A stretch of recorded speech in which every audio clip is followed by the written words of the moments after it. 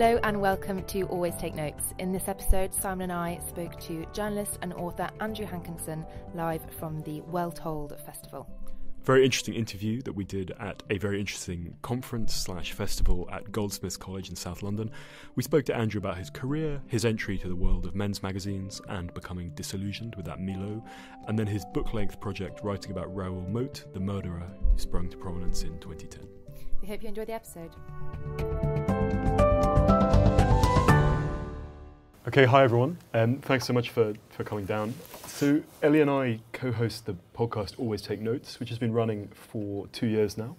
Uh, it's about writing in, in the broadest sense. So, we talk to all sorts of people, to writers of all stripes, from military historians to romance novelists, also to editors, agents, publishers, things like that.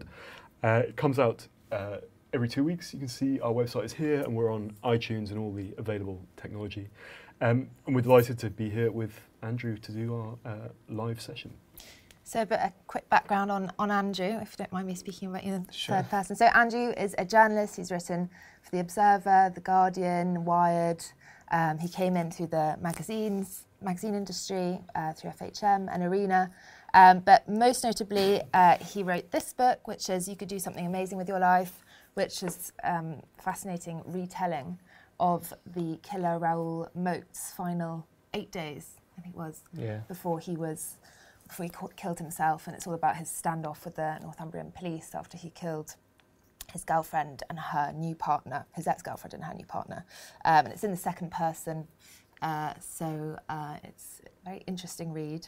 Uh, so, but before we get to that, let's back up a little bit, Andrew, and um, go back to how you started in the industry. Uh, I know that you studied business uh, and computing. Yeah, yeah, business and IT at Manchester Metropolitan, and uh, and I didn't do very well at that, and it wasn't a particularly good course or anything. So um, after that, I was working in a call centre in Newcastle, and uh, after about a year of that, I realised it wasn't what I wanted to do with my life. And so it's Ricky Gervais, I think, a quote from Ricky Gervais that yeah, saved you. So I wrote about that for the Guardian. The um, yeah, it was basically it was a quote from Ricky Gervais just saying, you know, don't spend your whole life doing something you don't want to do uh, and then retire at 60 whatever and, and kind of that's the end of your life. So i thought that kind of struck me at the right time.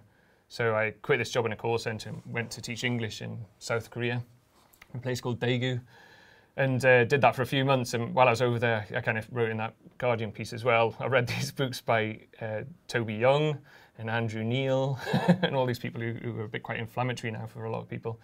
But it really um, it, it kind of made me realize that you could actually do journalism as a career. And so I left South Korea, came back and went to Darlington College and did the NCTJ course there, which is like a newspaper journalism course. Lots of you know journalists do that before they go on a local paper and stuff.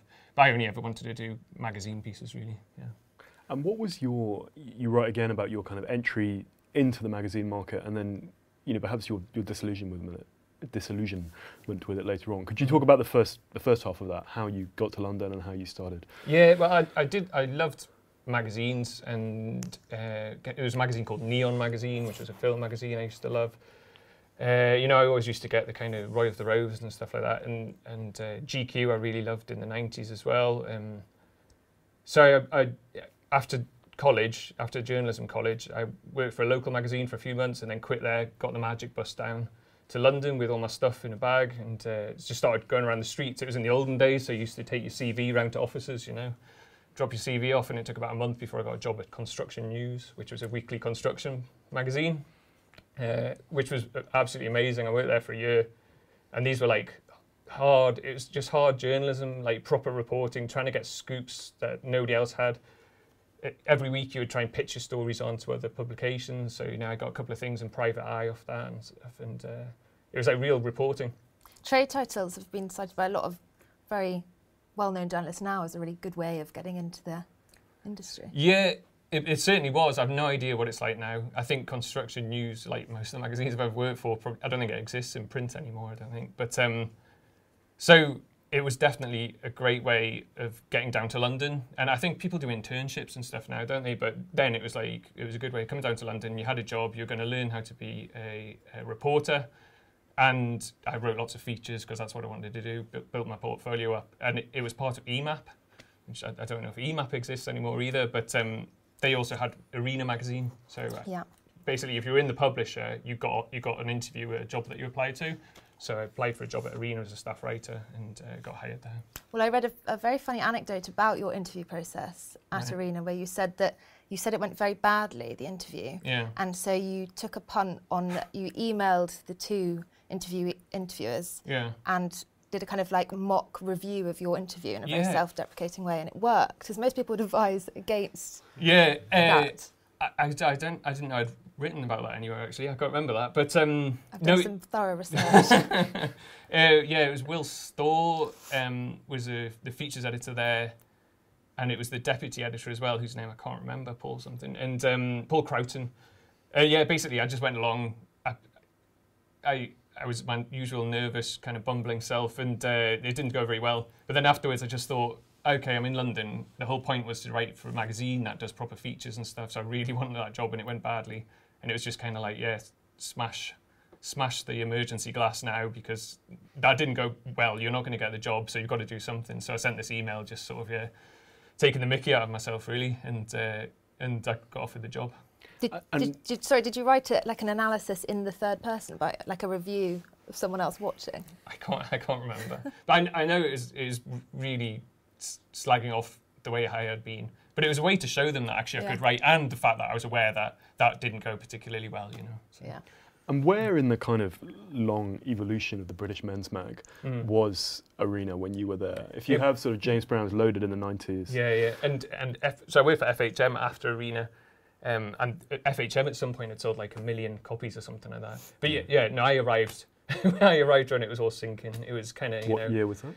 Um, so Arena, it was like maybe 2006 or 2007 or something like Okay. that. But it was it was constantly struggling to sell copies, I think, Yeah. and you know panicking about numbers sometimes, I think, and things like that. So and I so I worked there for like a year, and then they, I remember I got offered from Construction News. My news editor there came and said to me. Do you want to? Uh, do you want to come back to us? And they offered me like a good amount of money, much more than I was earning at Arena. So I went to the editor of Arena and said, "Look, I've been offered all this money. Can I have a pay rise? Because you know, try and play that." And uh, and he went, "No, you can't have a pay rise. And also, you are going to lose your job in a few months, so you might want to take that job." So I was like, "Oh no!" And they basically did a round of redundancies, and uh, I was laid off. That, but I got shipped across to FHM. So I never kind of applied to FHM, but it was like a you know a, a life raft for me. yeah. And what was FHM like at that time? It was exactly the same as Arena. It was done. You know, it was kind of they, they brought this guy Anthony Noguera back who'd been there during the kind of boom time, and they brought him back as editor to try and let's recapture some of those sales. And uh, so it was constantly trying to figure out, trying to figure out. But they they were still putting pictures of women in bikinis and stuff on the front cover, and people just didn't want that anymore. You Were know, there any want- women working on staff, or was it all? um, not on the editorial, I don't think, but on picture desk, subs desk, things like that. Yeah. And what was the atmosphere like generally? The, like Arena was brilliant because it was all these kind of really creative people uh, and uh, very interesting people, kind of people I hadn't come across before up in Newcastle, and uh, and then FHM. It was it was great that people have this impression of it because of what the magazine looks like and stuff. That it was kind of all these like kind of boorish lads, but everyone just people just wanted to be great writers and they wanted to be you know great picture editors and stuff like that. People wanted to do really good stuff, and you're kind of hamstrung by the publication that you're work, working for a lot of the time. Um, but they were all alright. Yeah. What was the size of the team at that stage? Uh, there was probably like you know half a dozen people on staff who were kind of writing and stuff. A couple of you know a deputy editor, editor. Uh, on the picture desk, like three people or something like that. Okay. Yeah. And I've always been fascinated to know what would happen when you called someone for a story and said you were from FHM. Like, what was the, the reaction? Uh, people, I mean, a, a lot of the times it was like celebrity interviews and stuff. Yeah. So there was a, a particular person who was that it was their job to line those things up. Yeah. And I think they had difficulty, particularly getting people for the cover and things. But writing a, a feature, so say, so like one of the features I did was um, going on, uh, spending a week with the search and rescue helicopters for the Okay. RAF. they loved it. You know, they Yeah. it was, so all that sort of stuff. The kind of people that you targeted, they were really loving it because we were going to do six pages or eight pages about them and photographs, and they always loved the photographers come along, take pictures of us. You know, we look great. So it was it was fine. I never had any problems with it really. Were there any features you felt uncomfortable being asked to write, or No, they, like, what? How do you mean? just in terms of it, how the style, or I mean, even GQ? If I look, because I used to work at Mm. GQ, some of the um, the way the celebrities, especially female celebrities, are written Oh, about in terms of the cover Yeah. interviews, uh, are, I mean, they would just never, they'd never be written like that. Yeah, no, Now, no. It- It's very it odd when you look back at the copy. Then it was, it was, it was, yeah, particularly about the female cover stars and stuff like that. It was odd. Um, I, I always felt uncomfortable about all that stuff, and I felt uncomfortable. I, I never suited. It, FHM were great because they gave me a job, um, but I think I was always a bit of a, a thorn there because I just never felt comfortable with it. I didn't buy FHM ever. I wasn't, you know, a reader of it, so it I always felt like I want to be taken seriously as a journalist, you know, and so it was kind of hampered by that. But, But do you um, miss anything about that era of men's magazines? uh, um, no, I, w- I was I wasn't ever really bothered about those men's magazines, so I don't I don't miss them. But everyone felt very uncomfortable. Uh, So Jeff Maish was I was talking to Jeff Maish yesterday, and he used to work for Loaded, and I think some of us who worked for those men's magazines, we were very careful for a good few years afterwards about. So I wouldn't tell people I used to work for FHM really? and things because people made such assumptions about you. So if you're pitching stuff to a serious uh, editor, they you know they don't want someone who used to work for FHM, so you would play that down. So yeah, I definitely felt uncomfortable about the fact that I had worked for FHM, and I'd play that down and keep it. Now I feel much better about it. I feel like you know I feel like sort of the stuff I've done has proved that I'm a decent writer, um, so it it doesn't worry me so much. And uh, And what was your route after the arena layoff? so Arena went straight to FHM. I did like maybe two years as a staff writer then.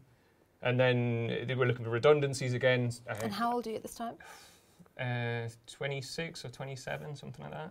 No, when I left FHM, I was 28. Um, they were looking for redundancies, and I didn't want to work there really um, uh, because I wanted to write for different publications. So I took redundancy from there and started pitching freelance stuff. Yeah, and that's so. And then, and then I was trying to be a freelancer in London, and of course I'd set up all these freelance, you know. Uh, um, opportunities before I left, and it was like, oh yeah, we're going to have this, and then they get a new editor in, and then none of that freelance stuff happens. So suddenly you can't earn a living. It's really hard. Um, and then I wrote about that for the Observer magazine, which is all about I've got no money. it's Yes. really hard, and a kind of boohoo piece. Um, And then you did a follow up to that.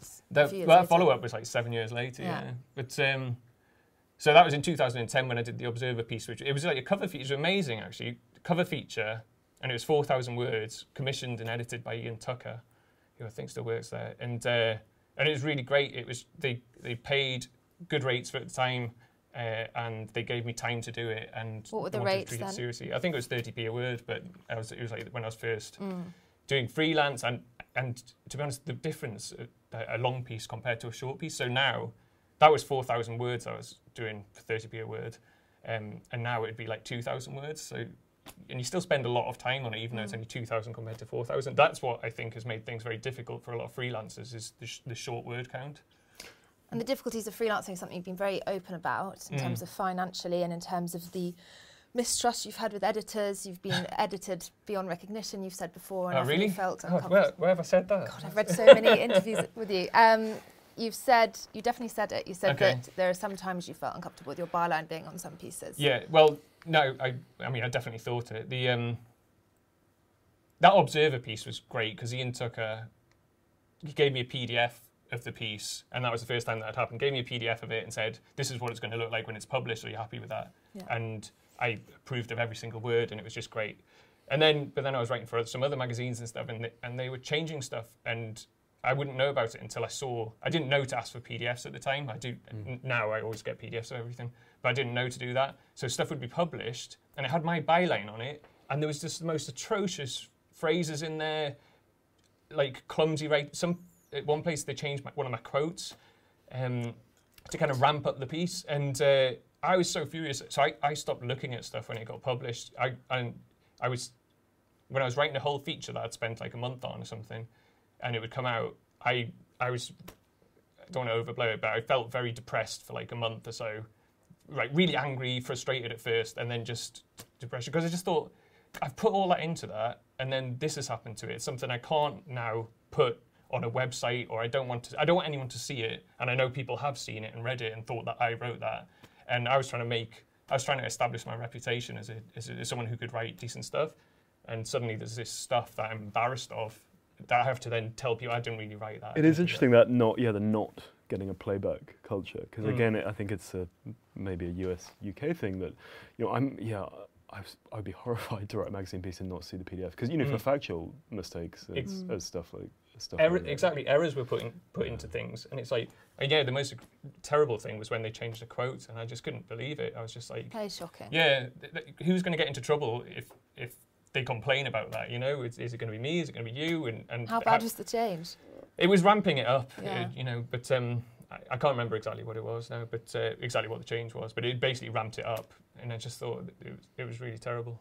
What um, you wrote very personally in that Observer piece about kind of financial trials, and Mm. you've also written. You sent us this piece about getting a vasectomy uh, later. you know, written about this really kind of personal stuff, and Mm. I'm wondering the, the kind of voice in those pieces, the sort of slight boohoo element. To what extent is that a voice, and to what extent is that is that just unadulterated Andrew? That's, Um, I th- well, it is it is my voice. I it, I try and make. I, I guess I try and take the Mickey out of myself.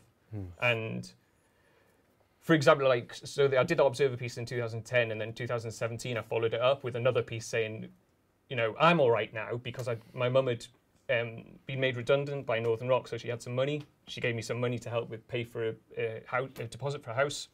So I was taking, I put that out there, you know, I chose to do that and to, to kind of make the point that a lot of people are getting money from parents and stuff, and that's the only way that they can establish themselves. And I'm one of them, uh, but there's a lot of people who aren't able to do that. Um, so deliberately making myself out to be that kind of person, and then kind of lay it on thick. You know, I think I had a line in there which was like, you know, and then the shakedown began, as in, you know, I look like a money grabbing, terrible son. So I'm deliberately making myself look as bad as possible, I think, in those pieces. But then hopefully I redeem myself by sh- showing people some nice side of me as well. But I remember Suzanne Evans of UKIP, uh, or formerly of UKIP, uh, tweeted about that, saying, and I'd written about my dad in a piece as well. And she was like, "Oh, his dad sounds like a good bloke, but he sounds horrible," you know. and it was like, "Well, of course you think that. I wrote it that way. It's deliberately to, to make that happen, you know." So it's definitely kind of. I think self-deprecation is part of the protection when you write personally. I think a lot of personal writers Yeah. do use that tone. and I'm, I'm kind of trying to I'm trying to I'm trying to use myself as an example to to, to kind of hang myself as an example to say like in that 2010 piece I'd spent money on going on holiday. I had a framed picture from when I went on holiday and then I'm saying oh I've got no money. And it's like well there's your money. It's all around your room you know what I mean? And uh, so yeah I use myself um, as a kind of character to bash uh, in order to make a point. How conscious, all varied stages of your career, were you of being a northern writer in, um, you know, from a working class background Uh, in a world that was sort of populated by posh southerners like, like I'm not. me? I'm not. I'm not working class. The um, my my mum and dad were, but I, I grew up in a detached house, and my, they had nice cars and stuff, and, and then we lo- we we they, my my dad's. Uh, we, we kind of they lost money, so then you know you, you don't have much money, but it doesn't really make me working class. So if someone in Newcastle heard you say I was working class, they would go, "He's not working class." So I, I'm always careful about Hi, that. Newcastle. But then when I come down to when I come down to London, yeah, it, I mean, it, as soon as I came down, it was, it was totally. Well, everyone just goes on about. I used to have a much stronger accent and stuff, so everyone goes on about your accent all the time, and things. And then in in the media world, yeah, suddenly everyone seems to have gone to private school and things. So that's that was very peculiar, um, and. But then you start using it to your advantage, you know. I'm the, I'm the northern guy. I'm the guy from Newcastle, and you sort of play that up a bit. So, so it's got benefits, but yeah, no, I mean, I'm still aware of it now. But I, I live in Newcastle again now. Well, I was going to say, how did you feel when you went home? Oh, it felt like a retreat. It was, uh, it was. I so that again, I just could not. My wife was pregnant, and I just could not afford to live in London and bring up a child there. So that's when I started working on the Raoul Moat book. Um, it was in 2010, so he'd just done it. A couple of months later, I was still struggling around for work, couldn't earn enough money, And I was like, she wanted to go back to the northeast because she's from there. She wanted to be in her family, and I said okay. And I started after the Raoul Moat thing, looking to see if I could get access to that story. And once I realised I could get access to it, then I said, okay, we can go back to the northeast. At least I'll have this book thing that I can do. Uh, Did it, was it always conceived as a book, or did you at first think it could be a piece of long form? I always uh, no, I I always wanted to do it as a book, but I did try and pitch it around to like the Guardian and Sunday Times magazine as well. While I was working on it, I wanted to see if I could just get a feature going to you know bring in some money and do further your research and stuff. But I could never get commissioned for it. So. Could you give just for maybe listeners who aren't familiar with the case a bit of context about? Sure. So Raoul Moat was a guy in 2010. He'd been in prison for assaulting someone and uh, came out of prison and went and shot his ex-girlfriend. She didn't die actually. Um, so he shot his ex-girlfriend, shot her new boyfriend. He did die, and then he went and shot a police officer who was blinded in it uh, since uh, he since killed himself. And then Raoul Moat went off to the hills in Northumberland for like a week, and it was I mean it was the, it was the main news story for a week while he was hiding out there. People weren't sure where he was. It was on the front pages of all the papers. It was rolling news on Sky News and things like that. And then on the Friday night, he was surrounded. You, they found him. He was surrounded by police officers, and after six hours, six hours of negotiation, he shot himself. And was the idea for the, were you kind of looking for an idea for a book, or had you did this trigger the the idea? To No, I was looking around for an idea for a book. I, I when I was freelancing, um, I got very frustrated with the kind of pieces I could get commissioned, and I, I was I just I was quite frustrated with what was being published by magazines and weekend supplements and things like that because I, I just wanted to try and do more experimental writing. Um, but obviously, the kind of fashion at the moment is with that whole New, New Yorker type of writing, and uh, so that it, it, you know, I was flogging a dead horse sort of thing. So I couldn't get things commissioned. Like I remember one piece that I pitched to the Sunday Times magazine. I think I wanted to write a feature from the point of view of a horse, where I'd go and spend like a week in the stables with like a, a horse who was going to compete in the Grand National, and then follow them and be with them all the way through the Grand National and stuff. And obviously, they were like, no. And and in hindsight, it sounds ludicrous, but this is the sort of stuff I was trying to get commissioned. Um, and I, and I was like, I really want, and I really, I tried getting second person stuff because the book's written in second person. I tried getting second person stuff commissioned, and I couldn't anywhere. And I was like, I really want to do a feature in, uh, I want to do a big project in second person. I decided I'm not going to get it commissioned for a magazine, so I'll try and do it as a book. And then I was just waiting for something to come along which would fit with that. How big an influence was Bright Lights Big City? It was huge influence, yeah. The, The, uh, Jay McInerney novel that's written in the second person. Yeah, and I, I loved that book. And that's exactly, that, I mean, that was where I got the idea for doing second person. I thought he's done it in fiction. I thought it worked really, really well. Um, and I just thought, can I apply that to non-fiction? Yeah. It is such a hard style to pull off, though, and can be quite jarring. I mean, you do it brilliantly, but done wrongly, it can be quite jarring for the reader to read. Yeah, people say that. I just, I, I don't think I've read bad examples of it. So I'm sure they just don't get published. well, yeah, maybe exactly. So, um, so I, I once once you've started writing from that point of view, it's quite easy. And this book's kind of a simple book because it's all from the point of view of Raoul Moat.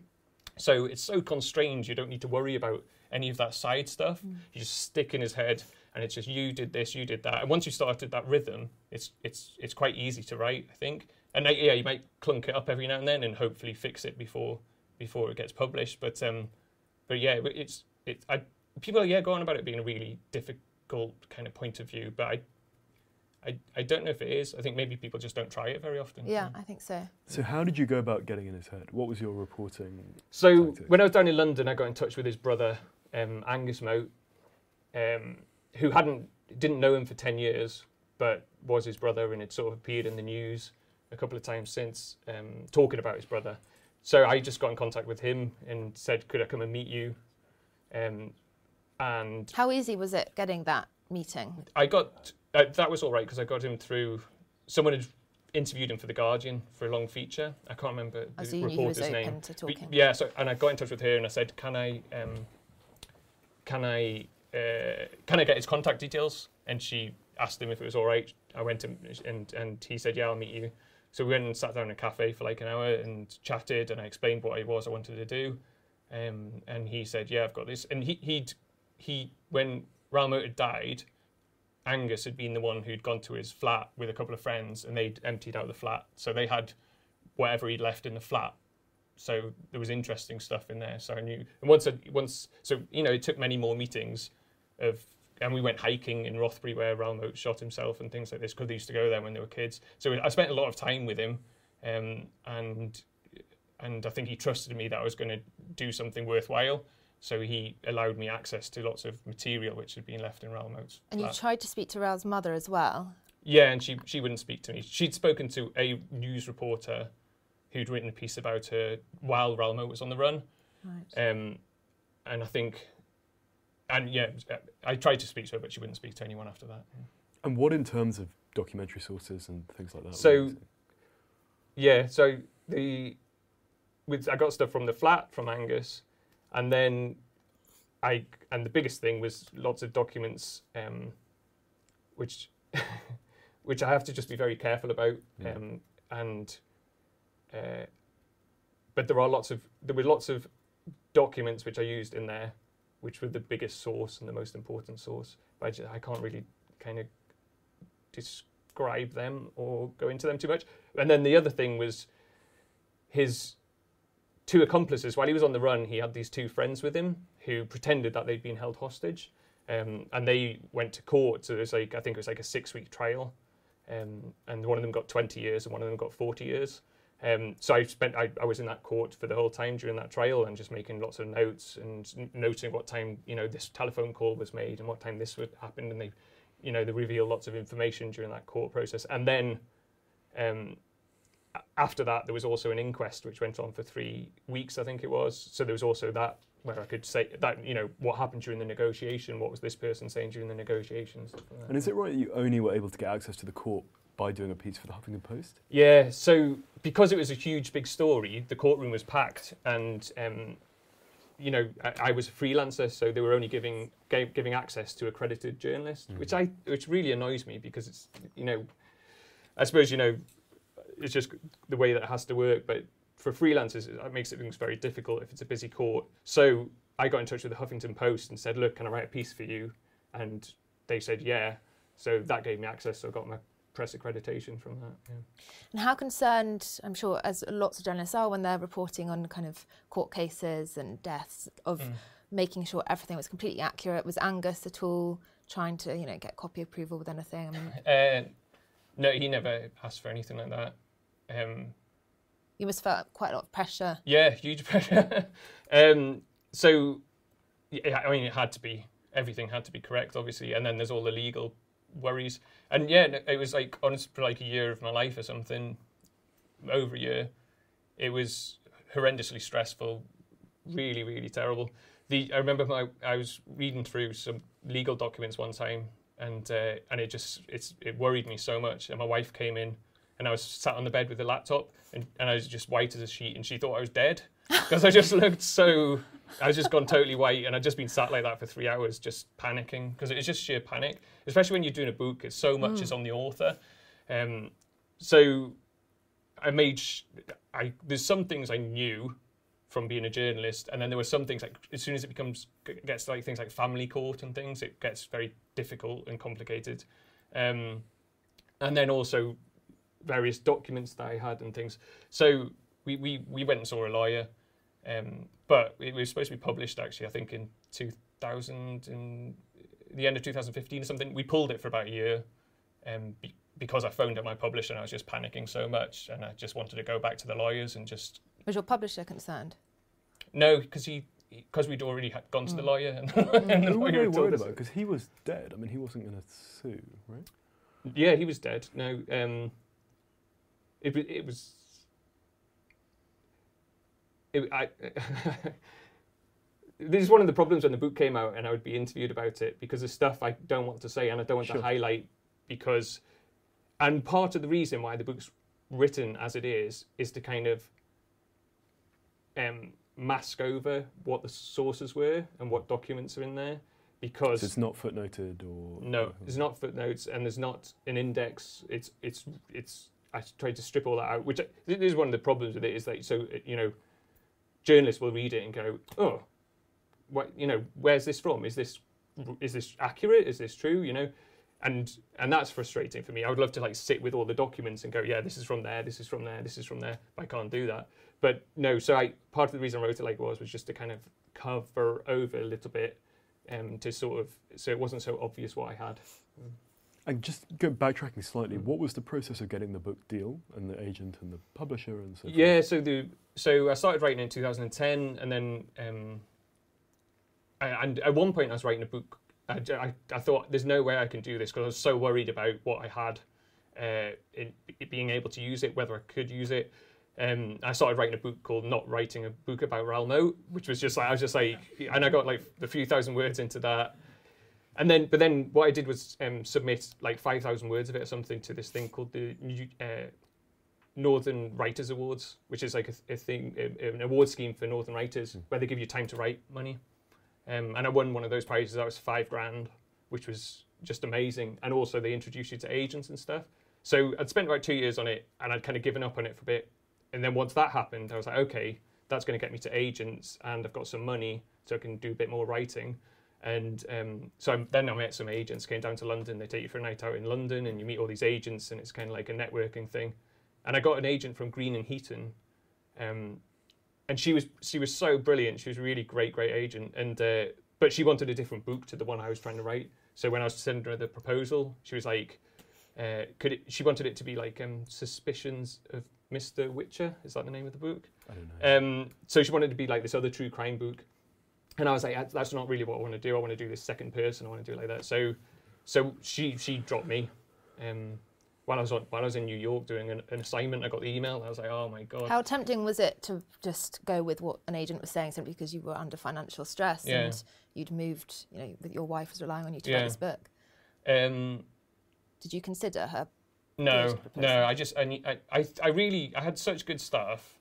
I thought the I just I I knew it would work as a book the way I wanted to do it, and I thought if I did it that way, it would it, it would get it to the market quicker, and it might have been commercial and things. But the whole the whole point of writing this book was to try and establish myself as a particular kind of writer, and to demonstrate because I'd felt so frustrated with having all these features out with your name on it that you hate.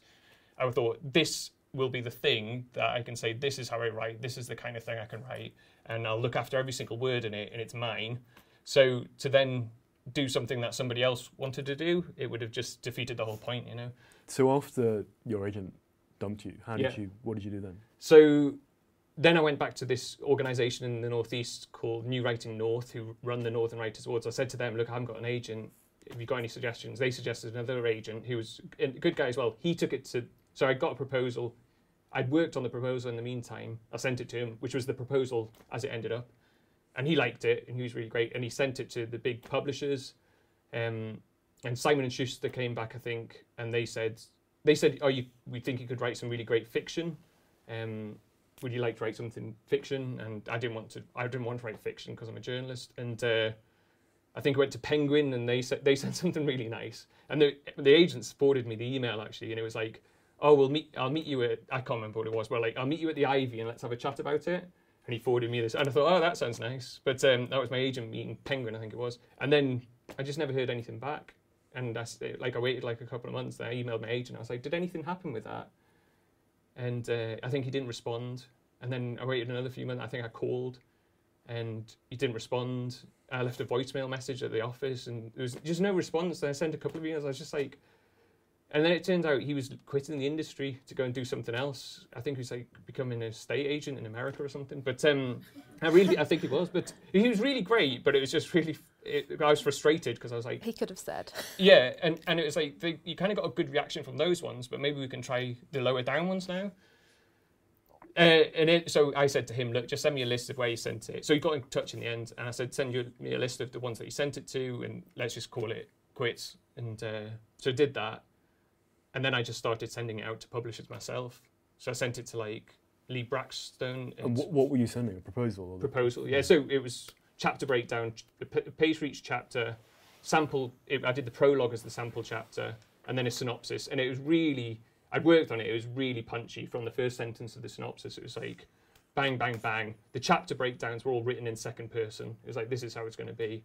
Um, Is the prologue in the book now the same as it was? it has got. I mean, I've changed it a bit, but it's I mean, the raw material was Yeah. there. So the prologue in the book is a, um, he he was getting referred to a psychotherapist, and he was and he had a form, which is amazing that they do this.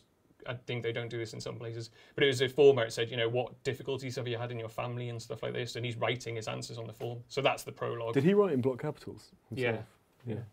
Yeah. Um, and They're quite funny, some of his Oh, it's so heartbreaking though. But um, for, for his family, for his kids and stuff.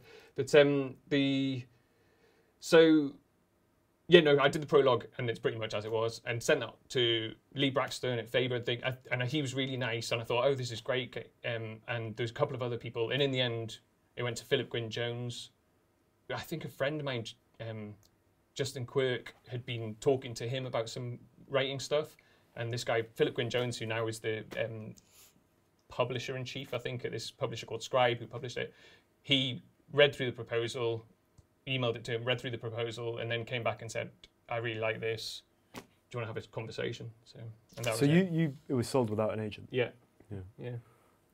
And in terms of the tone of the book, now I don't know if this is just me, but Mm-hmm. um, particularly when you're describing when Raoul's with his accomplices and they're hiding and they're kind of in the tent and Yeah. they're they're being held hostage, there is a certain humour in the Yeah, in the in the tone. I mean, the way Raoul's speaks is quite the, the way they're analysing their breakfast that they're cooking. You Mm. know, you can't help but find some of the parts, some of the book funny in tone. Was that intentional? And I oh, s yeah, and I suppose it, it's quite disturbing because you actually because if someone's funny, you tend to warm to them.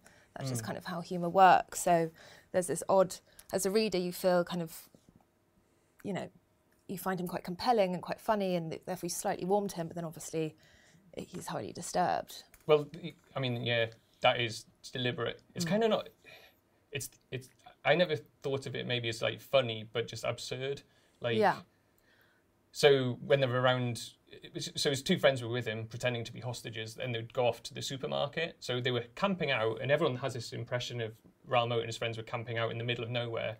But for a time, they were just camping out around the back of an industrial estate, just in a field, and there were walk, people walking past and stuff like this. And and then he would send his mates out. They'd go to Sainsbury's, or I think it was Sainsbury's, and buy um, reggae reggae sauce and things like that. So when you when you hear those details Yeah. in the courtroom, you're like, What premium sausages? And well. all those sort of things. And it was just what you you know, he just shot people. You know, mm. S- someone's dead, three people have been shot, and now he's you're buying barbecue sauce and things. It was just so bizarre, and just kind of revealed quite a lot about him and his friends. These two guys, I think, as well. Where and so I deliberately put that in there, which is it isn't to make light of any of it. It was it was in order to. Um, uh, you know, juxtaposition that with this horrific violence and this guy who'd done these terrible crimes. It- It's kind of like showing, are you really, you know, are you really having a barbecue at this point in time? Um, But then, you- of course, there was a controversy with some people thinking, a, a small fraction of people, but thinking that it was sympathising with, well, how oh, did- uh, well, no, it's, I mean, I, I tried to create empathy deliberately, yeah. Um, because, I mean, the title of the book is You Could Do Something Amazing with Your Life. And that's something he said. He said, I could do something amazing with my life if it wasn't for.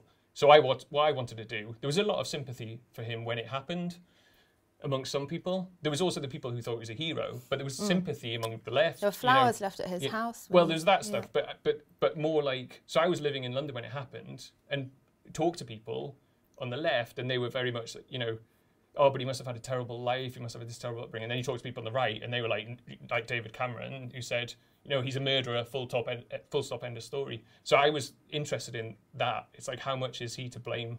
For his own decisions, you know. So I was, I was taking that title. I could do something amazing with my life, and I was trying to hold him to account. Like, okay, bad things might have happened to you, but you still decided to shoot three people and ruin all of these lives. So, at what point are you not accountable for your actions? And it was just trying to hold him to account for his own actions all the way through the book.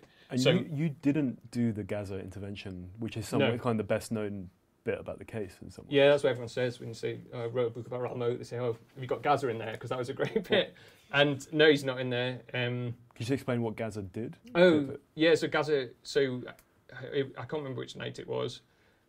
Well, it must have been the Friday night because that's when they found it. But um, yeah, Gazza turned up, and Gazza's Gazza's a Geordie, uh, and he said he knew who Raoul was, um, and he might have met him on the doors and things like this. But um, I, th- I, th- I, I, he's done interviews since. I think he was taking drugs at the time, maybe drinking, and he tried to get through.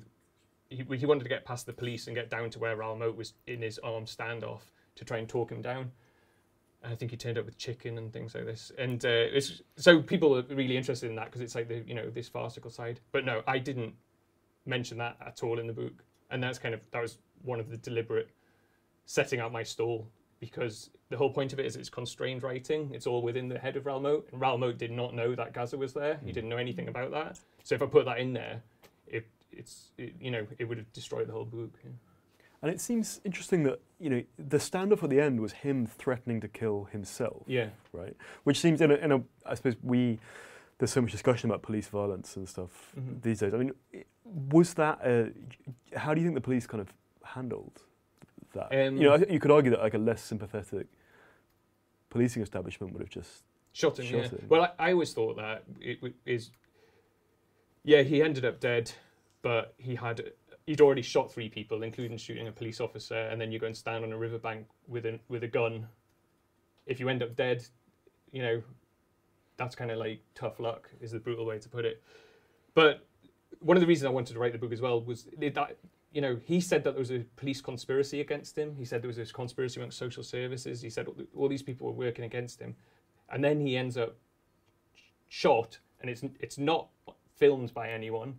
It's not on the audio because the negotiators' dictaphone ran out of batteries before Raoul Moat shot himself. They didn't film it, so it's like this guy died surrounded by armed police, um, and he said there'd been a conspiracy against him. So I thought that is worth investigating as a journalist. You know, as much as like the tabloid thing was this guy was terrible, he's bad. I thought, oh, well, we should at least try and definitely find out how he died and what was going on there. Um, so I was looking to see if there was some kind of, you know, uh, corruption or anything like that, and I couldn't, I couldn't find anything. The the police did make some mistakes, but you know, some people, some people suggested that the police had shot him and things like this, but there was no, he, they didn't. What he did was shoot himself, but it was after they'd fired these shotgun tasers. Uh, They weren't some guy who used to be in the police force who now sold tasers. He drove up from somewhere further down south. I can't remember the Midlands or the Yorkshire or something. He drove up to this standoff and said, opened up his boot, and gave them these shotgun tasers, which instead of being attached by a wire, they fire like a, a shell. And two of those was, were fired at Raoul Moat just before he shot himself. Um, so they were trying to figure out whether that whether they connected and some kind of muscle contraction caused him to shoot himself, or whether it scared him and that's why he shot himself. So well. Look, we're coming to the end of our time, Andrew. But look, thank you for. do you have more question? Oh, um, no, I was just going to ask if Angus or his mother read read the book, and if you. I no idea if his if uh, Raoul and Angus's mum read the book. I don't know at all. But um, Angus did read the book because I sent a copy to him because I wanted to make sure that he well. I said to him, "Look, have a read of it, and I'm available to discuss it at any time because it was quite all very stressful for him, I think, um, and I wanted to. I didn't want that to be, you know, going around in the background of uh, wondering if Angus is stewing over something, if he's worried about it, if he's angry about it. So I just uh, kind of um, nipped in the bud, sent him a copy. He read it, and then we met up for coffee afterwards and discussed it. He and was all right. He was okay with it. Yeah. Great. Well, look, thanks for being such a fascinating and candid guest, and wishing you all the best for your projects going forward. Thanks very much. Thank you, Andrew.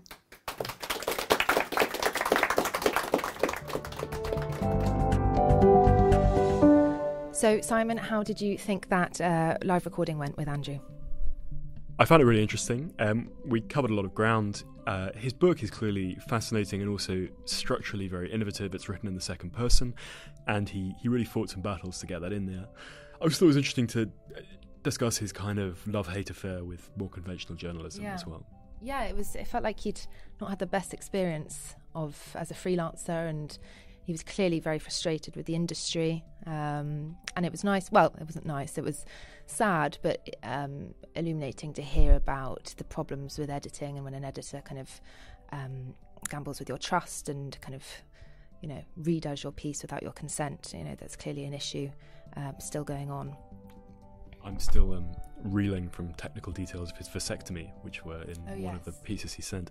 Um, but anyway, this has been Always Take Notes, hosted by me, Simon Akam. And me, Eleanor Halls. Our producer is Nicola Kean. Zahra Hankir handles our social media. Our score is by Jess Dannheisser, and our graphic design is by James Edgar. If you'd like to find us on social media, we're on Always Take Notes on Instagram, Take Notes Always on Twitter, and we'd really appreciate it if you enjoyed the episode, if you uh, subscribed to the podcast on iTunes and left a review. And contributed to our crowdfunding on Patreon at Always Take Notes. Anyway, that's all from us. Thank you so much for listening and have a great week.